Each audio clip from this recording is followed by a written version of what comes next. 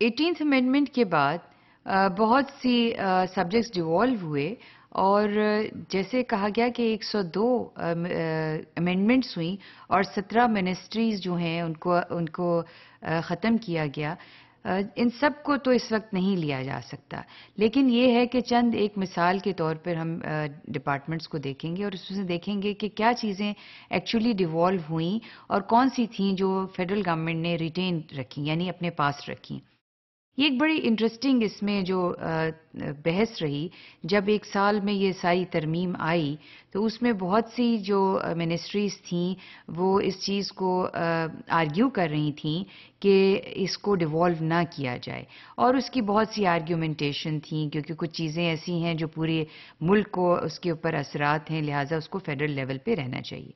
एक मिसाल जो सामने थी वो एग्रीकल्चर की थी और एग्रीकल्चर में काफ़ी बहस रही कि इसमें जब डिवॉल्व किया गया तो इसमें चूँकि ये बहस थी कि कुछ ऐसी चीज़ें हैं जो फेडरल गवर्नमेंट में रहनी चाहिए, लिहाजा मिनिस्ट्री ऑफ़ एग्रीकल्चर को तो डिवॉल्व कर दिया गया और ख़त्म कर दिया गया, लेकिन उसकी जगह एक नई मिनिस्ट्री बनाई गई जिसका नाम था national food security and research division.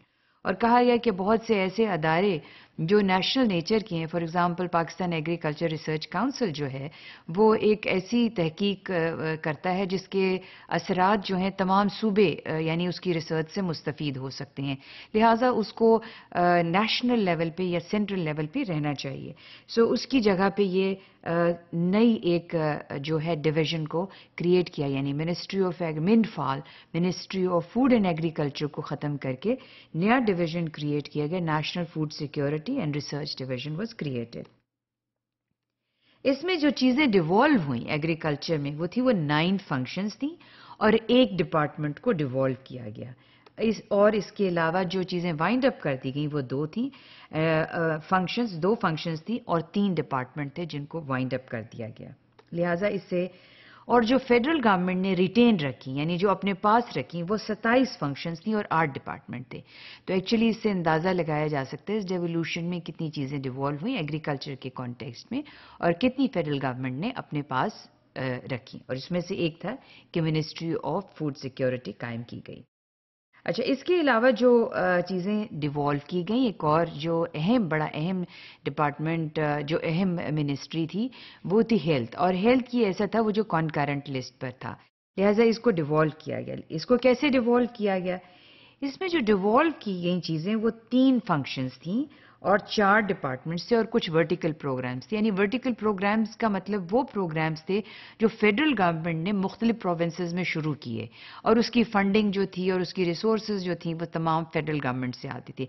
तो कहलाते थे डायरेक्ट जो डायरेक्टली फेडरल गवर्नमेंट से जो प्रोग्राम्स और प्रोजेक्ट्स थे, इसमें से ख़ास तौर पे जो था एक्सटेंडेड इम्यूनाइजेशन प्रोग्राम एक था, जो फेडरल गवर्नमेंट का प्रोग्राम था, उसको जो है वो वर्टिकल प्रोग्राम जो था, इस तरह का किए गए। तो डिवॉल्व जो थे वो तीन हुए और फ़ंक्शंस जो है, चार डिपार्टमेंट्स डिवॉल्व हुए और कुछ वर्टिकल प्रोग्राम्स को कंटिन्यू रखा गया।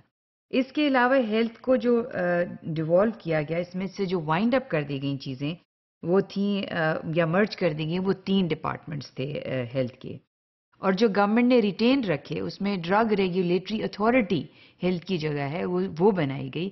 और इसमें ये जेनुअन आर्ग्यूमेंट थी कि कुछ जो आ, मसाइल हैं हेल्थ के इश्यूज़ जो हैं वो प्रोविंस में कन्फाइन नहीं रह सकते। उनकी लिमिट प्रोविंशियल नहीं हो सकती वो इफ़ेक्ट कर सकते हैं एक सूबे से दूसरे क्योंकि लोग एक सूबे से दूसरे सूबे में ट्रेवल करते हैं। तो लिहाजा बहुत सी चीज़ें हैं मेडिसिन के जो हैं तो वो इश्यूज़ जो हैं वो फेडरल गवर्नमेंट ने अपने पास रिटेन किए बारह फ़ंक्शन और पंद्रह डिपार्टमेंट जो हैं इसमें से एक ड्रग रेगुलेटरी अथॉरिटी और मुख्तलिफ़ डिविजन्स में उनको डिस्ट्रीब्यूट कर दिया गया। ये थी एक हेल्थ का। जो एक और बड़ा अहम कॉन्करेंट लिस्ट पे जो सब्जेक्ट था और जो डिवॉल्व किया गया, वो एजुकेशन का था। अब एजुकेशन का जो सब्जेक्ट था it has been a provincial subject in 1973 constitution but it was part of concurrent list like health it was part of the concurrent list तो इसको जो डिवॉल्व किया गया इस uh, को इसमें जो इसको तमाम का तमाम डिवॉल्व कर दिया गया।